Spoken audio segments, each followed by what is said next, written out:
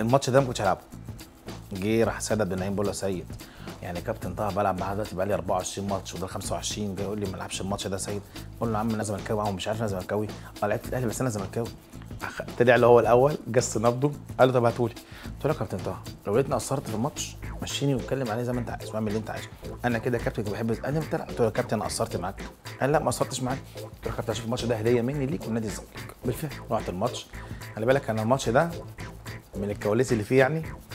إحنا إحنا بطبيعتنا أنا وسيد عبد النعيم وحمادة شنح و... ومعتز حامد كنا بنحب نقرأ الماتش. فكابتن طه وتركيز رهيب بقى ماتش والدنيا مقلوبة والجو حر جدا جدا. فين؟ في المقاولين الماتش الساعة 2 الظهر. نزلنا ركننا الأتوبيس على جنب كنا بنروح الشركة. ساعتها كان جايبين لنا اتوبيس مصر سياحة. كلنا كشري قبل الماتش. انت عارف لو ما كناش عملنا كده كنا ممكن نكسب الأهلي score رغم الفرص اللي ضاعت من النادي الأهلي.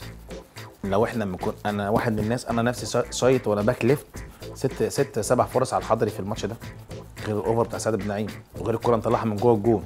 هي دي بقى الكورة الوحيدة اللي تراجع بتنطلع لما أقول لك أنا مخلص للفعل التيشيرت بلعبه ولما ألاقي إن في ايدي اخدم نادي الزمالك اخدمه أديني خدمته يا كابتن أنا بحب نادي الزمالك يا كابتن طه. بعد الماتش لقيت واحد بيتصل بيا.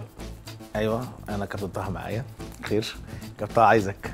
رحت أنا لقيت عصام محمود قاعد مساعد عبد النعيم خير يا عم. قال لك ظرف ليكوا فيه فلوس. من مين الظرف ده يا عم؟ أنا ما أعرفش. مش مشكلة. أعرف. أنا مش عايز عايز الظرف. مش مهم مين. خدت الظرف بفتح لقيت 5000 جنيه. ساعات بقى 2001 2002 بقى. 5000 جنيه حاجة كويسة بقى. طبعا الظرف ده ما ينفعش اشيله في البيت. أنا ساكن في حارة منطقه شعبيه هروح البيت إزاي؟ دخلنا الظرف أنا وسيد و... وعصام محمود كان ماتش كويس جدا في الماتش ده. وبقيه اللعيبة خدوا 3000 جنيه. كانت مكافاه كابتن مصر اللي كان عاملها لنا. غير غير غير الشركة يعني غير نادي ام بي وغير مهندس سامح فهمي وكده. رغم إن هو أهلاوي كان فرحان جدا لينا يعني.